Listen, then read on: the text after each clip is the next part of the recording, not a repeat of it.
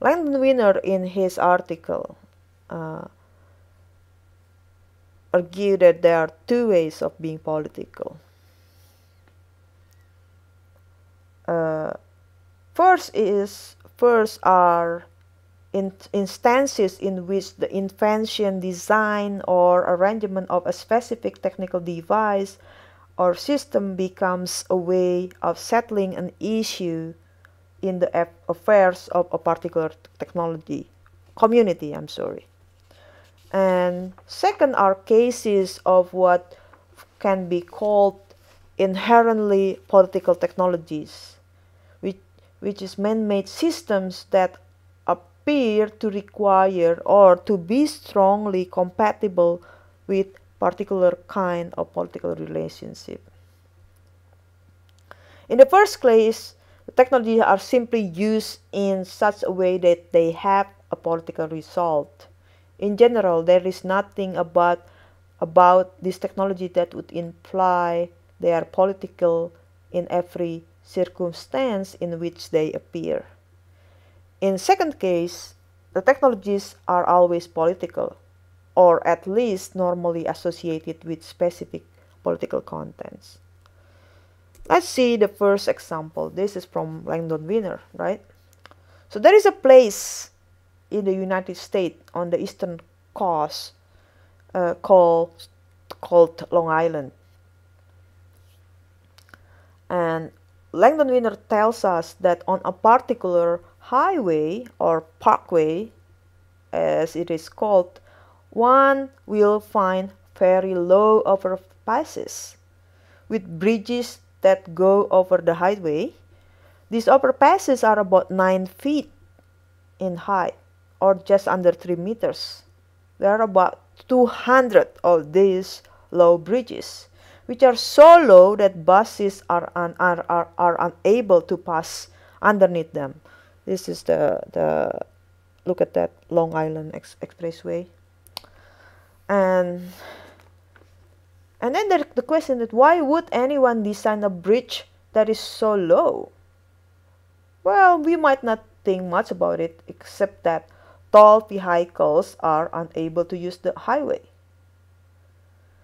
But if we look into the history of these low bridges, we find that that was exactly what the designer intended. The master builder of the roads and bridges in Long Island is Robert Moses. Uh, that's him uh, on the left side. Who was powerful from the 1970s to 1970s meditate way. Why, why, why do this? It appears that he was trying to systematically exclude a certain group of people, namely those who had to ride the bus. At this time, the roads were built, were being built. The buses carried primarily poor people, those who could not afford automobiles. It seems that he was not he he discriminated against buses, right? So it was not so much about his being racist to certain people. But then again, here, most of these poor people who rode buses were black. So by designing such low bridges, Robert Moses systematically exclude people, exclude black people from using the park and beaches available to the middle and upper class person, persons who own cars. There is nothing about bridges that makes them automatically political, but within certain contexts and use in certain way, these bridges embodied political characteristic. To use them, require that you be a part of certain group in society, a car owner.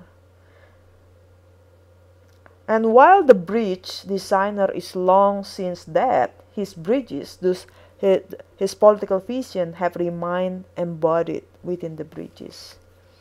And here is another example. Much of modern day Paris was designed by Baron Haussmann under Louis Napoleon. So he created very wide streets, which today we think are great because you could put a lot of cars of them and they look beautiful. But they were designed long before there were cars. Isn't it weird, right? Why, why build such wide streets? They were actually designed that way so as to prevent the city inhabitants from taking control of the city. So in 1848, a wave of revolution spread across Europe, and in Paris, people took control briefly by blockading the narrow Parisian streets. It was difficult for soldiers to move through the city. You might think about how difficult it is for police in Hong Kong to respond to problem in crowded areas where the streets or hallways are very small, right? It makes the police very nervous because it gives a tactical advantage to criminal. With the wide streets, the government would be able would be better able to control the resident. So that's two examples uh, give you the point that sometimes when we look at technologi technological artifacts in the world, we might not understand the circumstances behind their designs. Design. Technologies might well very might very well be political, but we just assume that technologies are performing their stated function. The highways in Long Island transport cars, the wide streets in Paris are beautiful modes of transportation. In fact, these technologies have a political context built into them. But how about this artifact? Can it be political? What it is is just a bench, an innocent bench, right? Yes, it can be political if. Look at that. Uh, it's different, started to be different. How about this?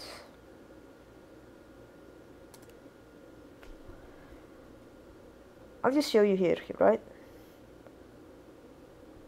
The center armrest. When you put the center armrest on the chair, the chair become a different artifact. So this is the ad of Belson Outdoor, recycle plastic Georgetown bench.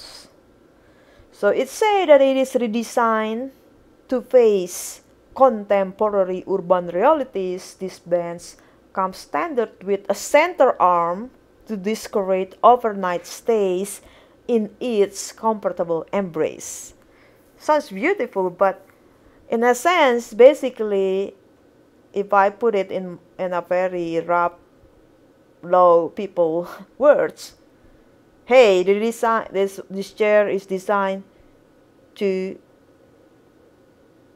to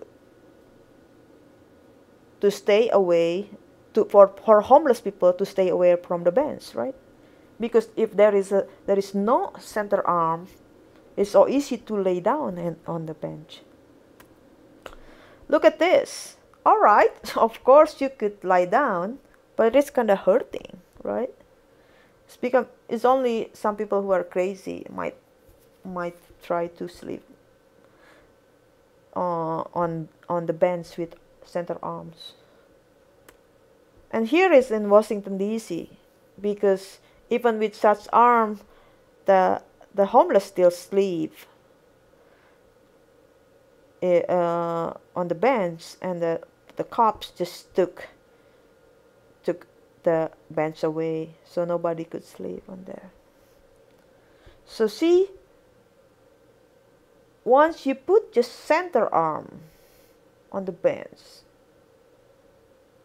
it has become political because you exclude some people from using it and it gives you more power to control who could sit down on the bench. From the three cases, what have we learned? We learned that technology reflects a particular political situation or political design. And the change in power relationship or access or membership was or is intended. How about the unintended one?